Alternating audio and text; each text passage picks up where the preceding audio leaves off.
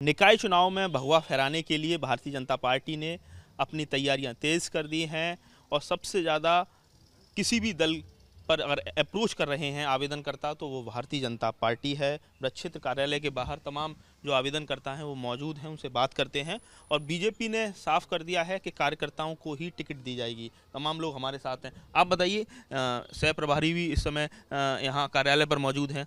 लगातार लोग आवेदन कर रहे हैं और एक एक टिकट पर सौ सौ दावेदार। हाँ जैसे कार्यकर्ताओं का हम लोगों का स्वभाव है कि हर कार्यकर्ताओं को अपना आवेदन करने के अधिकार है और हर कार्यकर्ताओं के बीच अपना समन्वय है कि जिसको भी अपना टिकट मिलेगा वो हमारा प्रत्याशी कमल का फूल होगा। उसी नीति पे पार्टी ने सभी लोगों से आवेदन मांगे हैं। जो भी क्योंकि कार्यकर्ता हमारे घर घर जा करके संपर्क करना उनके लोगों की चिंता करना चाहे कोविड का कार्यकाल रहा हो चाहे किसी भी तरह के सेवा कार्य हो चाहे सरकारी केंद्र सरकार की प्रदेश सरकार की योजनाओं को लेकर के जो घर घर पहुँचाने का काम किया है वो हमारे कार्यकर्ता क्या लग रहा है ऐसा पार्षद सभासद नगर पंचायत अध्यक्ष से लेकर नगर निगम। तो कार्यकर्ताओं को उम्मीद है कि, कि उनको समायोजित किया जाएगा। ये चुनाव है या कहीं ना कहीं उन, उनके लिए एक, एक बड़ी अपॉर्चुनिटी है। भारतीय जनता पार्टी एक ऐसी पार्टी है जो 24 इंटू सेवन और तीन सौ पैंसठ दिन काम करती है। ये कोकर मुत्ते की तरह एक दिन में उगने वाली पार्टी नहीं है। इसके कार्यकर्ता भी वो निष्ठावान कार्यकर्ता जो 24 घंटे पार्टी को देते हैं। ये वो चुनाव है जिसमें कार्यकर्ता ही चुनाव लड़ेगा और कार्यकर्ता को ही टिकट मिलना ये भारतीय जनता पार्टी का उद्देश्य है कि हर कार्यकर्ता को ज़मीन से निकाल कर एक नेता बनाकर डेवलप करना, ये काम इस चुनाव में होने वाला है। लेकिन सबसे बड़ी बात यह है कि चुनौती भी बढ़ गई है कि जो जितने भी वरिष्ठ नेता हैं, किसको टिकट दी जाए? क्योंकि प्रॉपर आपके यहाँ तो कैडर बेस्ड पार्टी है मंडल से महानगर होते हुए क्षेत्रीय टीम से प्रदेश अध्यक्ष तक। लेकिन कह दिया है कि बाहरी लोगों को टिकट नहीं दी जाएगी। ये आपको लग रहा है कि कहीं ना कहीं पार्टी पे बैक कर रही है अपने कार्यकर्ताओं को समायोजित करने की कोशिश कर रही है? बिल्कुल कोशिश की जा रही है। भारतीय जनता पार्टी इस समय अपने जो मूल कार्यकर्ता है जिस कार्यकर्ता ने दिन रात पार्टी के लिए अपने रक्त से सींचा है जिस पार्टी को उन कार्यकर्ताओं को आगे बढ़ाने का कार्य भारतीय जनता पार्टी के बढ़ाने का काम कर आप भी आप आवेदन करने पहुँची जी। लेकिन पार्टी कार्यकर्ता हैं आप? जी मैं महानगर महिला मोर्चा से कार्यकारिणी सदस्य हूँ। कार्यकारिणी सदस्य हैं। वहीं दूसरी तरफ़ तमाम लोग पहुँच रहे हैं। कई सारे ऐसे जो पुरुष कार्यकर्ता हैं वो सीट महिला हो गई है लेकिन पार्टी की तरफ़ से स्पष्ट कर दिया गया है। अगर उनकी पत्नी है वो महिला अगर वो बीजेपी से जुड़ी हुई तभी टिकट दी जाएगी। कैसे देखते हैं इस चीज़ को? बहुत अच्छा है कि भारतीय जनता पार्टी एक ऐसी पार्टी है जो महिलाओं का पूर्ण सम्मान करना जानती है। महिलाओं महिला अगर सीट है तो उसी महिला को टिकट दी जाएगी जो महिला कार्यकर्ता ना कि किसी का पति पार्टी में है लेकिन वो महिला एक्टिव नहीं है प्राथमिक सदस्यता भी नहीं मिली बिल्कुल बिल्कुल ऐसा ही होना चाहिए। जो भारतीय जनता पार्टी में निकल करके जो महिला घर से निकल करके पार्टी की सेवा करने के लिए तत्पर है उसी महिला को यदि पार्टी अपना पार्षद या चेयरमैन या अध्यक्ष बनाती है तो वह महिला के अंदर और जोश होगा और अगले कई वर्षों तक वो पार्टी के लिए कार्य करने के लिए प्रगतिशील रहेगी। तो आप समझ सकते हैं बड़ी संख्या में आवेदनकर्ता पहुँच रहे हैं। आप बताइए कि बीजेपी के साथ दिक्कत तो अब ये हो गई है कि एक अनार सौ बीमार ऐसा कुछ नहीं है। हा?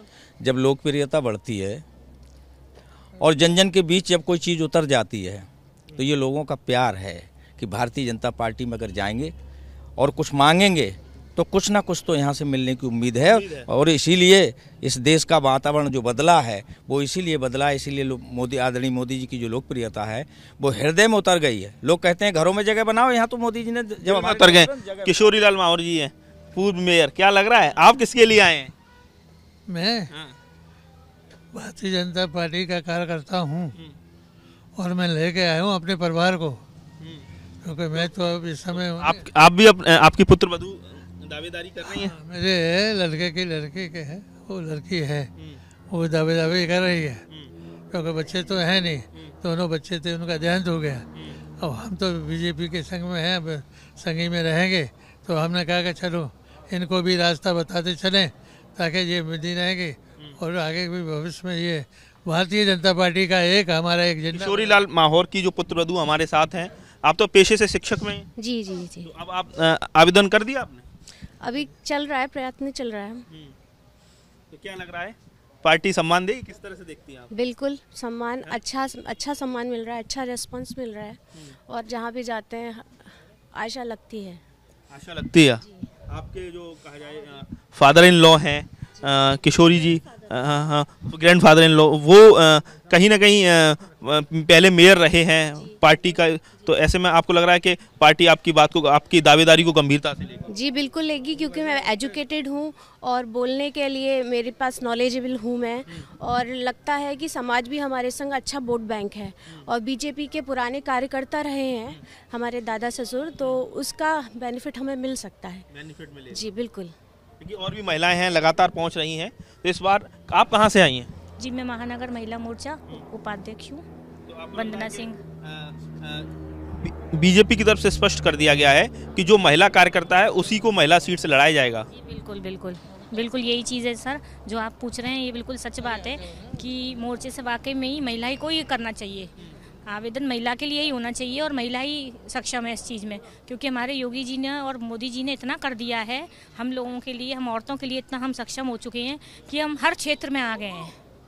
तो समझ सकते हैं, बड़ी संख्या में दावेदार पहुँच रहे हैं, आवेदन दे रहे हैं, भारतीय जनता पार्टी के लिए यही सबसे बड़ी चुनौती है कि किस तरह से एक सीट पर जो भी प्रत्याशी चुना जाए, वो सभी कहा जाए, पैरामीटर्स में खरा उतरे।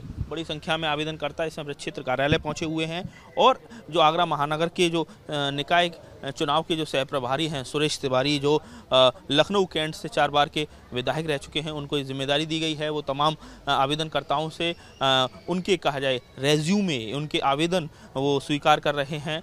लोग उनसे गुहार लगा रहे हैं, अपनी बात रख रहे हैं। तो कुल मिला के कहा जाए, निकाय चुनाव के मद्देनज़र बीजेपी कार्यालय, क्षेत्रीय कार्यालय, आगरा के जयपुर हाउस स्थित कार्यालय पर ज़बरदस्त सरगर्मी बढ़ी हुई है। आगरा से नितिन उपाध्याय एबीपी गंगा।